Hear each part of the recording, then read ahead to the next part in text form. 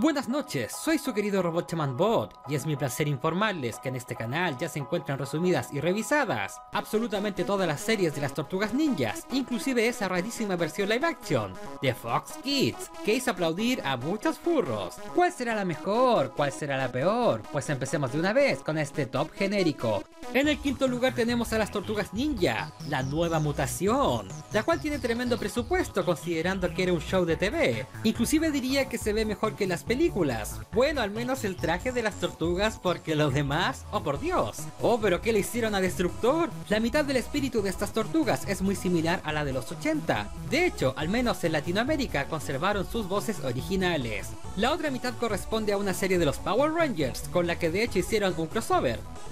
Lo nuevo que aportaba la serie era la llegada de Venus, la quinta tortuga, cuya historia corresponde a la trama de la serie. Se supone que era la quinta hermana, pero las tortugas la trataban a veces como interés amoroso. Bueno, para la historia y estas cosas medias raras, tienen el resumen en este canal. Como serie de comedia no está mal, cumple su objetivo de ser divertida, aunque mucho de su comedia sea involuntaria, por lo ridículo que se ve a veces. Lamentablemente su trama no da para más, porque si le querían copiar a los Power Rangers, para eso estaban los Power Rangers. Bueno, y por eso es la serie más corta de las Tortugas Ninjas, con un total de solo 26 episodios. Por todo esto y más, merece estar en último lugar. En cuarto lugar tenemos a la versión del 2018, Rise of the Ninja Turtles, la cual tiene dos facetas. La primera como una caricatura episódica, con capítulos de 10 minutos tipo Nicktoons, la cual hace muy bien, aunque a veces se ponga muy exagerada y a veces con chistes un poco forzados, porque sus personajes nunca se quedan quietos, pero en líneas generales está bien, con los mejores personajes siendo el loco de Donatello y Cassandra, la integrante genérica del clan del pie. En su segunda faceta es donde no funciona muy bien, y es cuando intenta contar una historia, ya que la serie pasa tanto tiempo en tono de comedia con personajes caricaturescos que cuando se pone seria no te la puedes tomar en serio. Sobre todo porque cuando cuenta la historia cambia de manera muy brusca su tono, a uno súper emocional y serio. De hecho en la película del 2022 se dan cuenta de esto e intentan equilibrar un poco más la balanza en cuanto a comedia y seriedad se refiere. Su segundo defecto al contar su historia es que su ritmo es muy malo. En ambas temporadas cometen el mismo error, contando la historia de su temporada en pedazos muy pequeños durante sus episodios, para los dos últimos capítulos finales de la temporada puedan lanzar toda la carne al asador, apretando una historia que se siente sumamente forzada y salida de la nada. Sobre todo se siente esto durante su segunda temporada, ya que al menos en la primera intentaron contar la historia de a poquito, durante todos sus capítulos, pero en la segunda al final de la temporada se sacan hilos argumentales que nunca de los jamases se habían contado durante la serie, nunca fueron anticipados, sintiéndose un final sumamente apresurado y artificial. Y como ejemplo tengo lo que le hicieron a Splinter, que era cualquier cosa menos Splinter, pero oh por Dios, el personaje era tan cómico y fuera de lugar que cuando lo quisieron volver en un verdadero Splinter durante la segunda temporada, no resultó mucho que digamos, porque no te podías tomar en serio al personaje en sus momentos más emocionales. En conclusión, el ascenso de las tortugas ninjas como caricatura episódica está bien, pero en historia no tanto. Por querer abarcar dos facetas muy distintas, al final no consigue excelencia en ninguna. Tal vez si se hubieran enfocado en una sola faceta, les hubiera ido mucho mejor. Y es por eso que solo tienen 38 capítulos, en dos temporadas y por supuesto, su película, que la verdad es bastante entretenida. Así que por no ser una mala serie, pero sí no saber elegir su identidad, esta serie merece estar en cuarto lugar. En tercer lugar tenemos a las tortugas ochenteras, que puede que no tenga una historia sobresaliente, salvo sus últimas tres temporadas, te daré tu caguaponga, amigo. Pero se concentraron en ser una caricatura muy divertida, y les salió bastante bien, sobre todo teniendo en cuenta la época donde salió. Imagínense llegar con una idea para una serie que trata sobre tortugas ninjas adolescentes mutantes, y que los productores te la acepten, claro es normal ahora, pero en ese tiempo era un riesgo total, sobre todo teniendo en cuenta que los cómics en los que se basa esta alegre serie son bastante siniestros, por lo que el cambio de aura hacia uno más cómico pudo haber molestado a más de un fan, pero bueno, allí no existía internet. Sin embargo, fue un riesgo que salió bastante bien, ya que dio pie a un sinnúmero de copias de su franquicia. ¿Acaso quieren un video de sus copias? Déjenlo en comentarios. Su comedia era simple pero efectiva, y aunque con el paso del tiempo se volvió repetitiva, nunca traicionó sus raíces, hasta las tres últimas y oscuras temporadas. Diría que esa fue la razón de su término, pero al igual que con los Simpsons, cuyo fin no fue el cambio de voces, sino que era un problema que venía arrastrando de temporadas anteriores. El cambio hacia un tono más oscuro fue debido a que las tortugas ya estaban desgastadas, y se querían aprovechar que al final de los 90 las series se estaban volviendo más oscuras, y aquel desgaste fue debido que no supieron cuándo terminar la serie. O sea, imagínense que estaban tan exhaustos los pobres guionistas que una temporada entera la dedicaron a que las tortugas se iban de vacaciones, a viajar por todo el mundo. Si ese no es un síntoma de un desgaste, no sé qué es. Es como el capítulo de la playa, pero en este caso, la temporada de la playa. Pero podríamos culpar a los productores, ya que estaban nadando en dinero con una nueva franquicia. Había que estrujar a lo que más pudiesen por ser la precursora de la franquicia de las tortugas, ser una caricatura divertida, pero no saber cuándo terminar, las tortugas ochenteras merecen estar en tercer lugar. En segundo lugar tenemos la versión del 2003, la cual significó un cambio en la franquicia, que sus siguientes versiones seguirían y sería la de agregar una historia. Tal como pasó con las últimas tres temporadas de la versión de 1980, tiene un tono más oscuro, donde Destructor ya no es el simpático villano que pierde constantemente, sino que un villano maquiavélico que tiene una historia de trasfondo, junto a Splinter, un tramón importante el cual incluye a la familia de ambos, lo más importante de esta serie es que lleva muy bien su historia y desarrollo de personajes, que a diferencia de los puestos anteriores donde no existe o es muy apresurada, estas virtudes estarán presentes durante todos los capítulos de la serie, con los personajes cambiando poco a poco, progresivamente, tanto los buenos como los malvados, como Karai, hija de Destructor, quien pasará por un desarrollo de personaje durante toda la serie, fiel a su padre hasta que se da cuenta que carece de honor. Y para qué decir Baxter Stockman, por lejos el personaje más sufrido que he visto en una caricatura que se supone que es para pequeñines. Uff, y ese episodio sobre su infancia definitivamente es cine.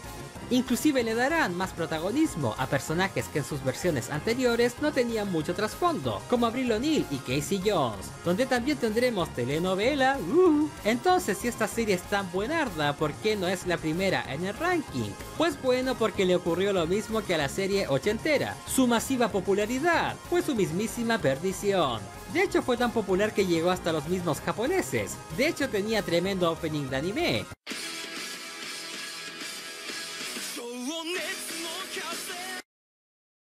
Pero por esto mismo no pudieron alargar la serie, cuyo final en la quinta temporada cerraba todos los arcos argumentales y era perfecto, es así como nació la aberración de tortugas en el tiempo. Así es, como todas las series de viajes en el tiempo, tiene un montón de agujeros argumentales, pero ese es el menor de sus problemas, ya que el show era pésimo. Pero por si no fuera poco, siguieron estrujando la serie con una séptima temporada, con el regreso a las alcantarillas, en donde reciclaron y refritaron todos los elementos viejos de la serie como un destructor virtual.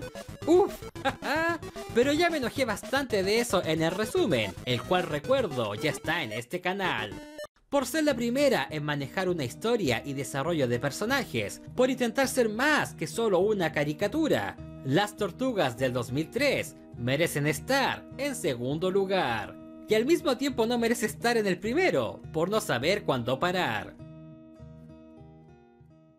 Como su siguiente versión, el primer puesto de este ranking. Para muchos y para mí, la mejor versión de las tortugas, la del 2012, la de Nickelodeon, la que cuenta mejor su historia, la que tiene mejores personajes y por lejos la que posee la mejor versión de Splinter jamás hecha, siendo que tenía excelentes competidores, como la de los 80 y 2003, e inclusive su versión de la película del 2007, porque las otras dos no existen, no me peguen. ¿Qué le hicieron a mi muchacho? El primer mérito que tiene esta serie es que fue la primera en hacer que las tortugas parezcan realmente adolescentes, y no jugadores de Slam Dunk, por lo cual incluyeron telenovelas, romance adolescente, pero como no tenían más tortugas, todas sus novias eran humanas. Ah, los furros se regocijan.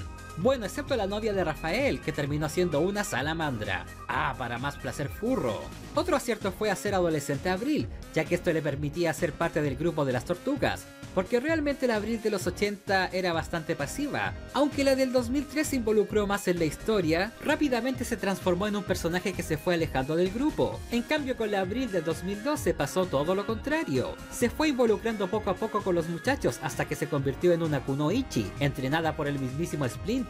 Así que básicamente es una quinta tortuga ninja. O eso me dijo el desesperado de Donatello.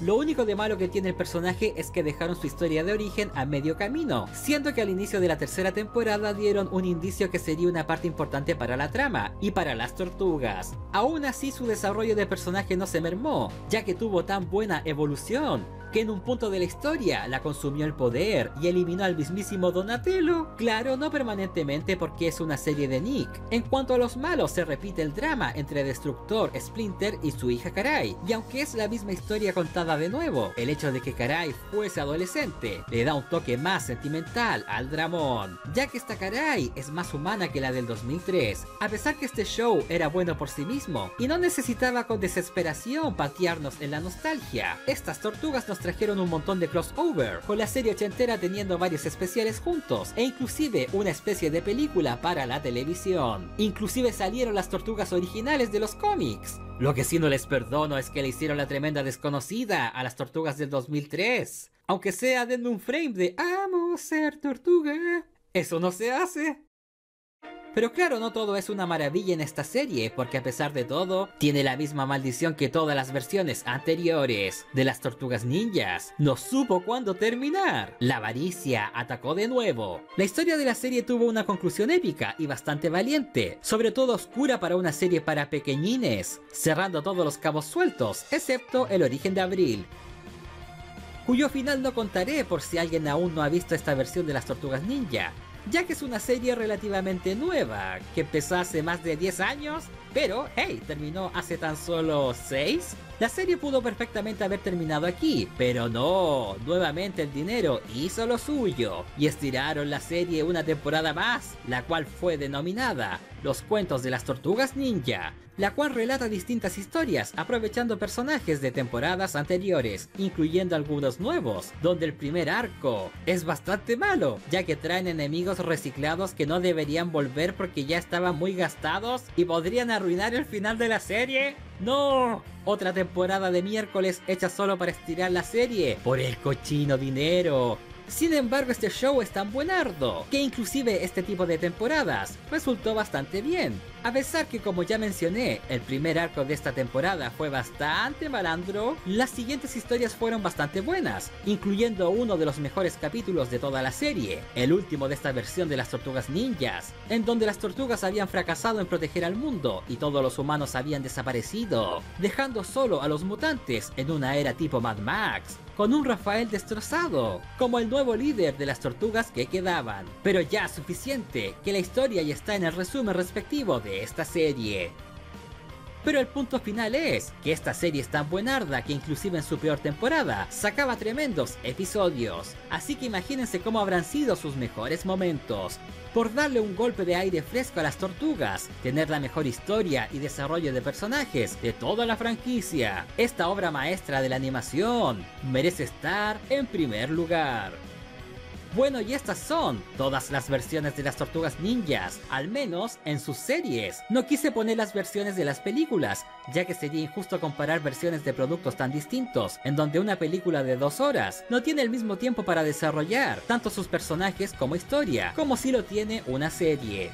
Pero si desean un ranking de mejor a peor de las películas de las tortugas ninjas, incluyendo los live action, déjenlo en comentarios.